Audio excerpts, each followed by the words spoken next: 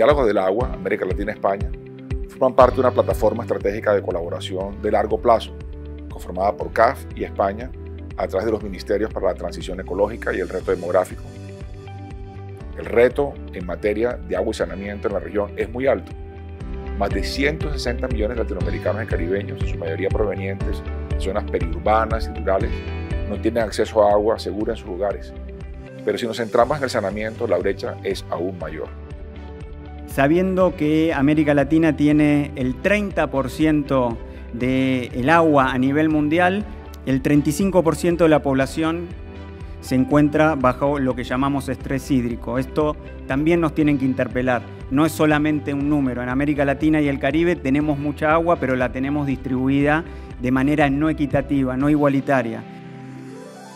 Quizá nada como el agua, la energía y el suelo para entender eh, hasta qué punto dependemos de recursos para favorecer nuestro desarrollo, nuestro progreso, para intentar entender, anticipar cuáles son las amenazas, las oportunidades y hasta qué punto el trabajo conjunto basado en la cooperación resulta determinante. La gestión del agua requiere considerar el enfoque de cuenca y potenciar la visión de la economía circular. Son dos enfoques que tienen que venir de la mano. La prosperidad futura de nuestros hijos va a requerir eh, muchos esfuerzos y que los países prósperos del futuro son los, cuales, los que vayan a hacer el esfuerzo de inversión, de innovación y de regulación para avanzar más rápido. La cooperación española eh, es consciente de la necesidad de trabajar de forma combinada a través de alianzas para abordar todas estas dificultades a las que nos enfrentamos y siguiendo sobre todo las metas establecidas por el Objetivo de Desarrollo 17.